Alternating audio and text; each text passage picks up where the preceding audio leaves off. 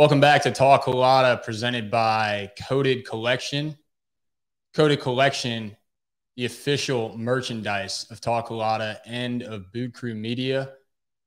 You can get your Coded Collection merchandise at codedcollection.com. Use the code Culotta10, that's C U L O T T A 1 0 for 10% off your purchase. Talk Culotta, decorated by Helm Paint, and it is clipped by H2O Salon and Spa. It's Christmas time. You got to get a clean cut. Go to H2O Salon and Spa. On today's show, we have head football coach for the Jesuit High School Blue Jays, Ryan Manale. How you doing, coach? Doing well, doing well. Thanks for having me.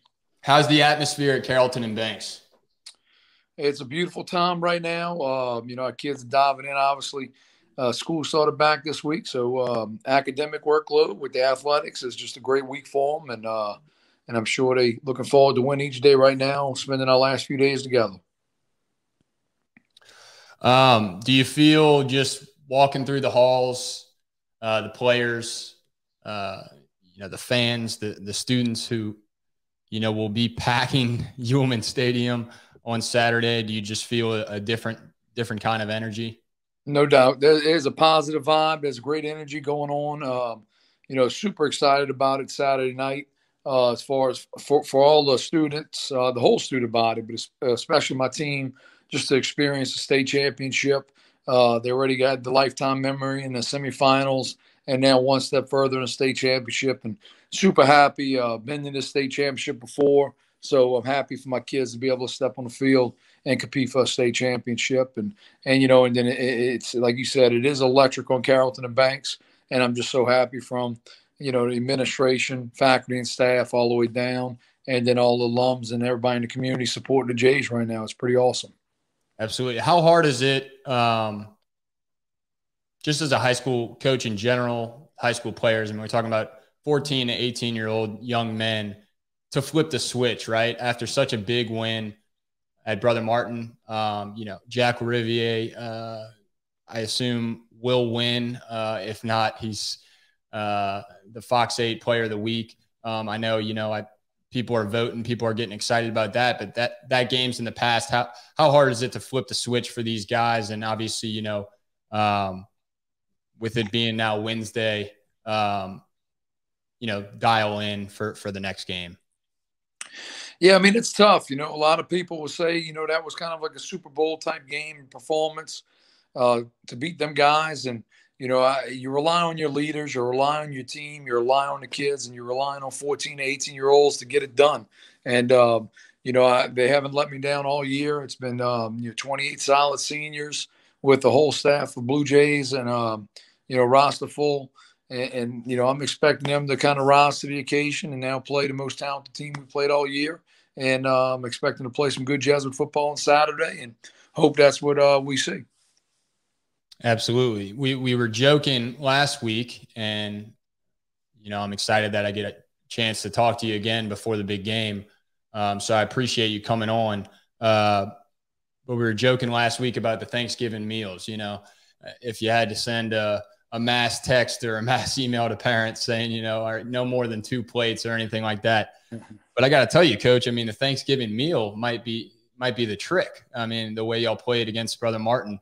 Uh, do you do you have any um, you know changes as far as scheduling, diet, things like that, especially with the game being on Saturday? Are you going to encourage a, another big meal on on Friday night? You know, to to get these guys ready for Saturday.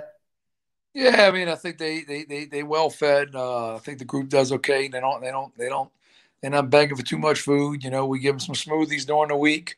Um, you know, and then and then I think they're eating well, so they're going to continue to do so. And uh, you know, I think they're doing a good job of managing everything, and and I think they putting everything focused. Their focus starting to turn on Saturday night, and all you have to do is uh, say the word Catholic high football, and I mean, I think their attention they get their it gets their attention. Um, so I mean, I think I think we're going to start turning the page. I think it's already been done. Um, you know, and if not, we only have a couple more days to get it turned to play against one of the best uh, teams in, in, not only in the state and the country. And uh, we're excited about that. Yeah. Um, how does uh, you know, Coach Manale, for those you know joining the show or or listening to this after the fact, um, is in his first year as head coach, um, and the last time that happened was uh, you know your your predecessor, Coach Songy. Uh, the first year as head coach makes it to the state championship. Um, have you reached out to Coach Songy just for advice on on that aspect? You know, we talk. Um, you know, we talked. He, he shot me a text and good luck. And you know, we, we've been talking regularly through the school year. Uh, you know, um, fortunately for me and, and a handful of guys and staff, we've been blessed uh, to be in a state championship the last uh, two years. I think the last three out of four state championships. excuse me, in a division that you know we coached in, and we were able to make it to the state championship. So, you know, a lot of experience there with that. Uh, you know, and and I just love the kids. They they they just they they hungry. Uh, they in uncharted waters, and I think um, I, I, think they know it's a big game. I think they know it's a big game, and just hope that they can get over uh, that Brother Martin game, as you said. And, and I think we will. I mean, it's just Jesuit football, and that's how we play it. Coach, can you talk a little bit about your defense uh, for me? You know, Jack Rivier obviously had four touchdowns.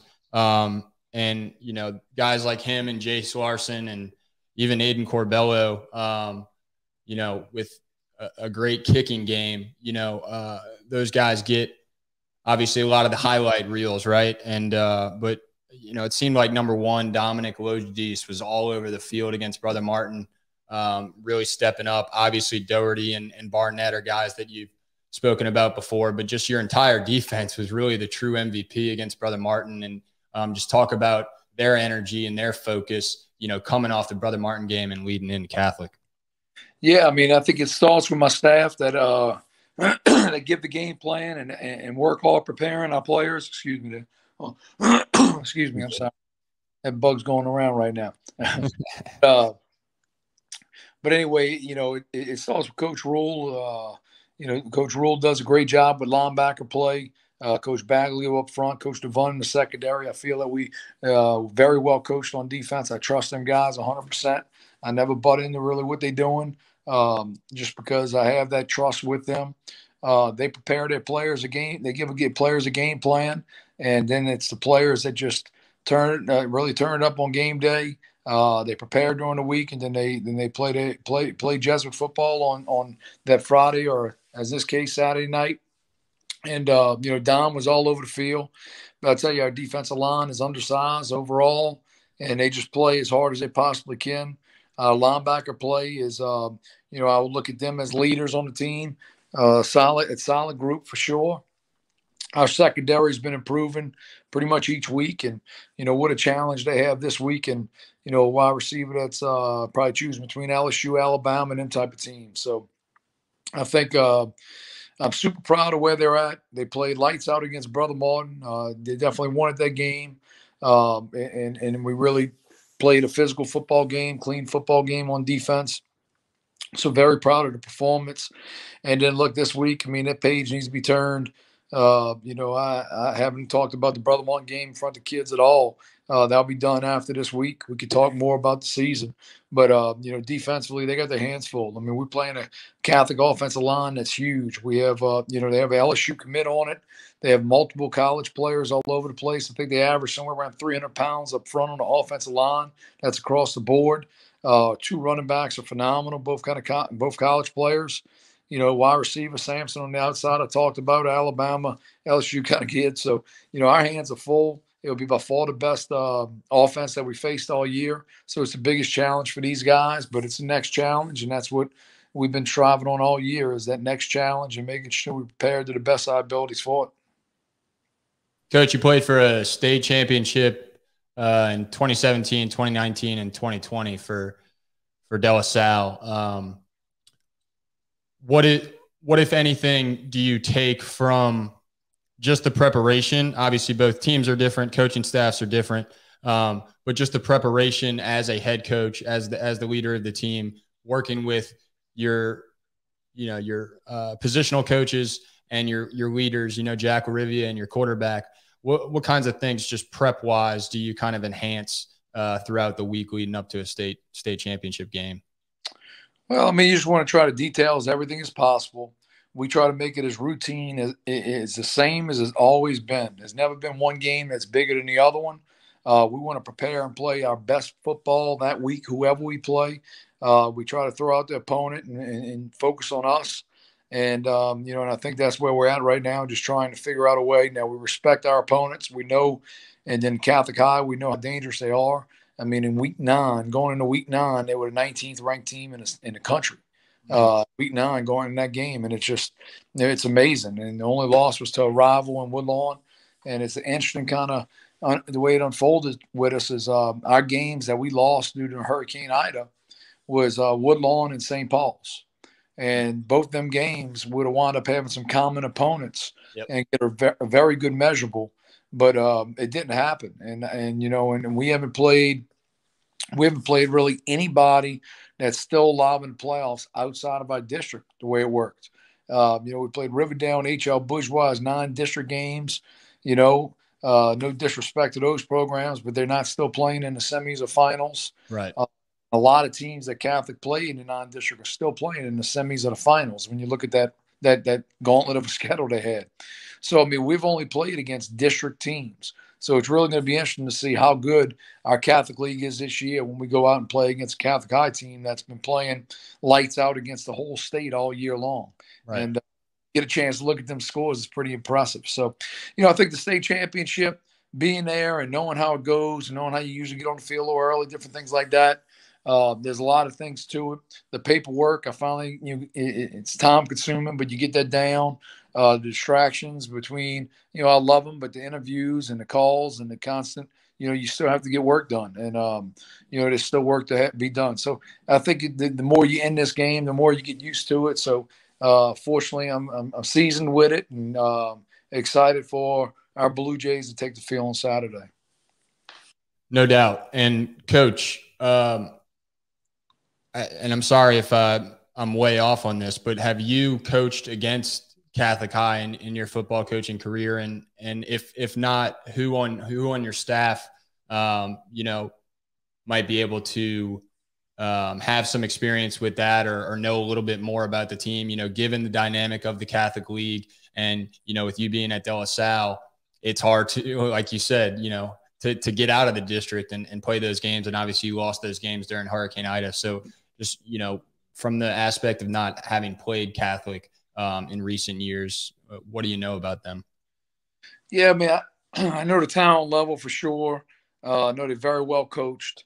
Uh, you know, I, I know they're uh, you know head coaches from talking to them on the phone a little bit, uh, and then hearing people in the community talk about how good of a job he does. Uh, you know, I, I, was able to meet. I know the defense coordinator some.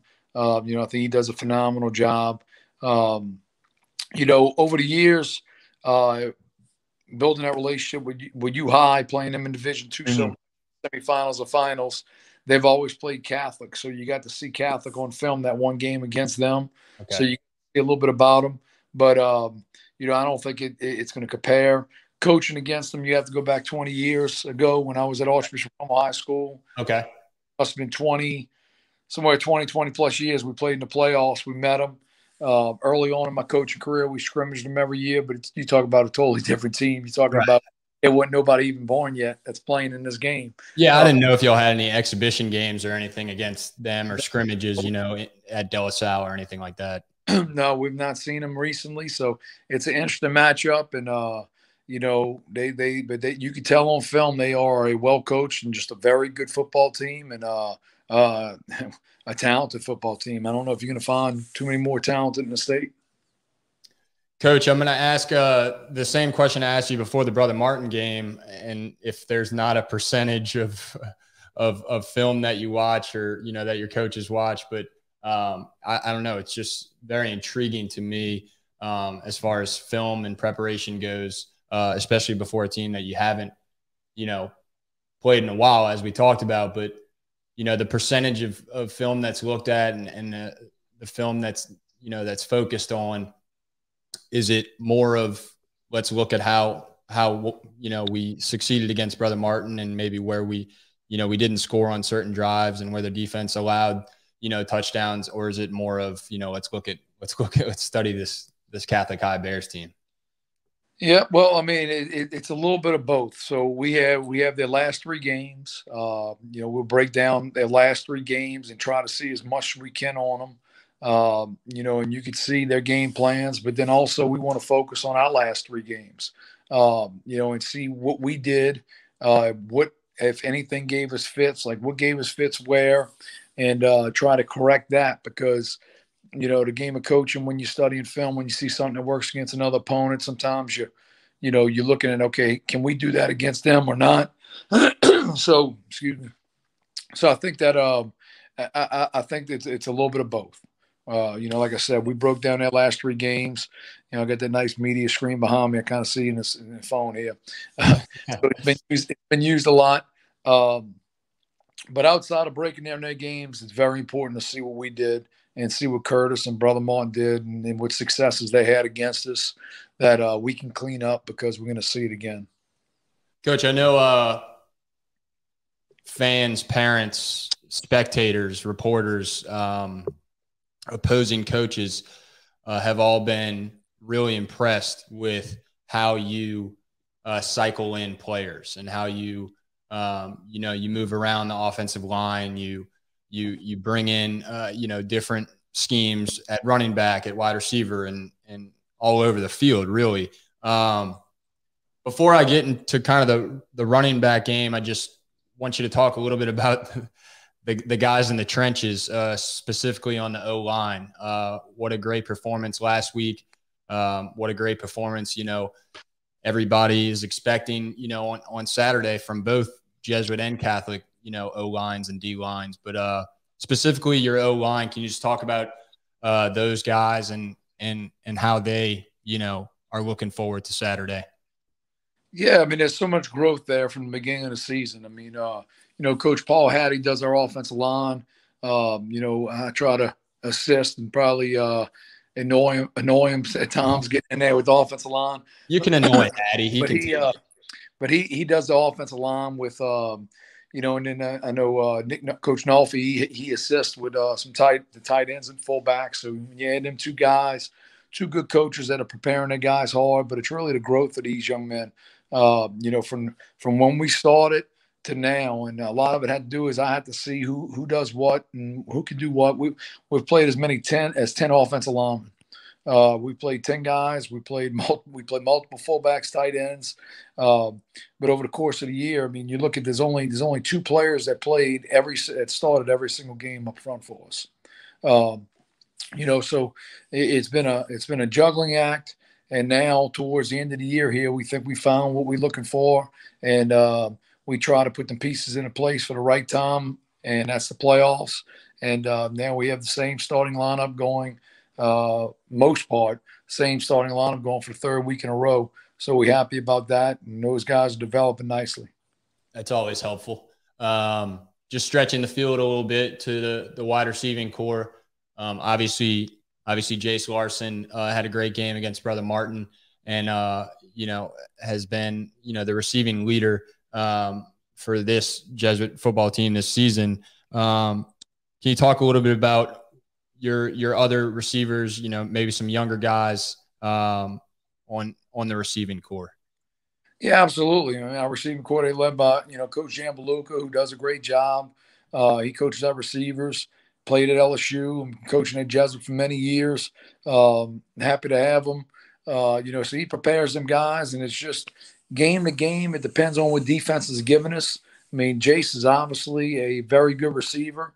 Uh, but we practice every week, ready for them to get bracketed or anything like that, because there's not, there's not, it's we're not uh, too shabby behind them. We've just been more of a running football team. You know, we have mm-hmm. a junior that works extremely hard, Jason Thompson. We have uh, junior and Jack Lowe, who came from the basketball program.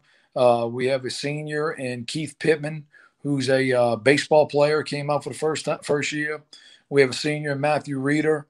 Uh, you know, we'll, we'll, throw a freshman Jasper Parker in there at either running back or receiver. We'll play one of our tight ends or both our tight ends at receiver, and Chance Woodfield and uh, Hollis McDaniel. We'll, we'll, we'll put them out there, and uh, you know, really, we we we so we we do play a lot of guys in a lot of different packages, and all of them are ready to, you know, if we in a running game, they know what they're doing. Excuse me again. And if we have to get into a, um, you know, a throwing war uh, because we can't run the ball, then um, then we have guys that can do that.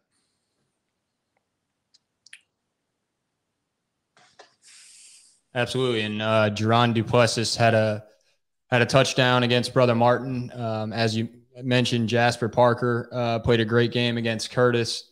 Um, a little bit about your your your running back group. Yeah, I mean, I'm, we're, we're blessed to have Coach CJ, Coach Jones. Uh, coach Jones is, is, the running backs coach. He's uh he's been with me for nine straight years at De La Salle, and now came over um, to Jesuit. Blessed to have him. He does a great job developing.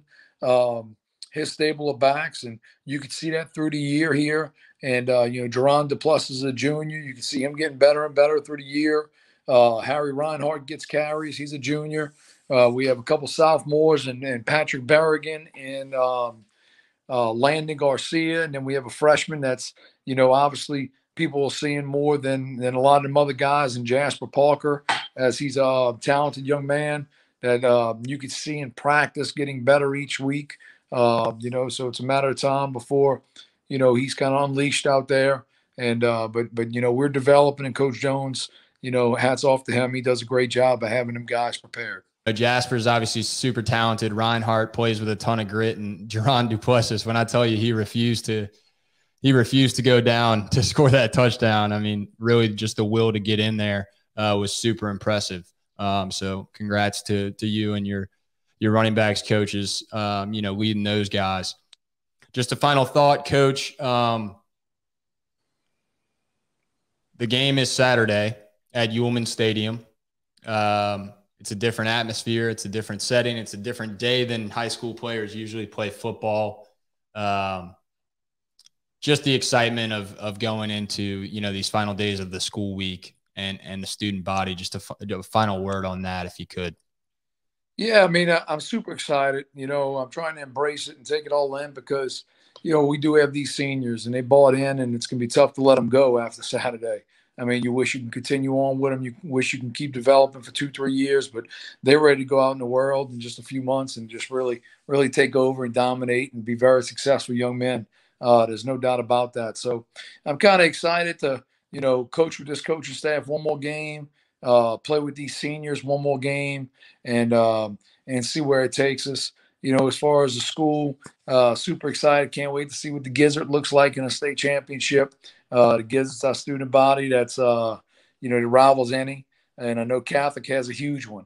And uh, so those two student bodies right there are going to be the biggest thing to hit Yulman, and it's uh, it's going to be super exciting. And um, you know, I'm just looking forward to us playing our best game that we possibly can. And if our best is good enough, it's good enough. And if it's not, I'm gonna be proud as heck of these guys. Uh, and, and, it'd be really interesting to see. It's it's really how how does Catholic League, as we the better teams, the best team in the Catholic League, how that how that matches up against Catholic High, who's one of the best teams in the state, and then a top team in the nation. And uh, you know, looking forward to that challenge of seeing these guys play against this this amount of college talent.